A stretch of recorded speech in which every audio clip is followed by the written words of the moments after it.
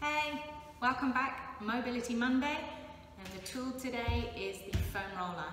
Again, I'm using this short foam roller, but you can do this with one of your longer ones as well. Try to avoid doing these things with the really knobbly tractor tire foam rollers. You want to be soft into your body.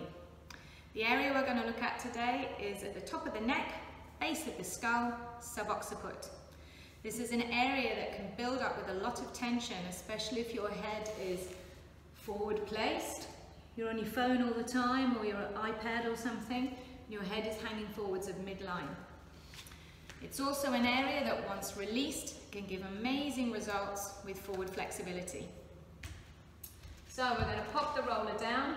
I'm putting it on my flat surface here. I'm going to lie down, relax, knees bent, and just rest the roller at the base of my skull.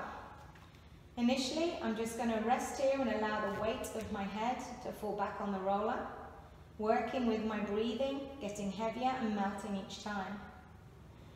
And then I'm going to add a little bit of rotation. So I'm just slowly turning my head backwards and forwards, and it's rolling over the muscles at the top of the neck so my cervical erector spinae group as they come up and connect into my occiput, which is the bone at the base of the skull.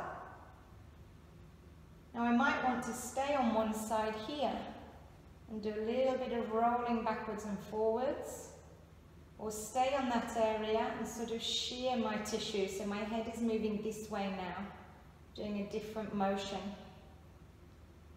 I can even roll backwards a little bit more onto my occiput and I'm starting to affect now my scalp fascia. Don't forget, check in again with your anatomy trains. This is all still part of your superficial back line. Maybe add in a little bit of hair pulling to release the scalp here. And then, as with all our other things, we to lie down and test.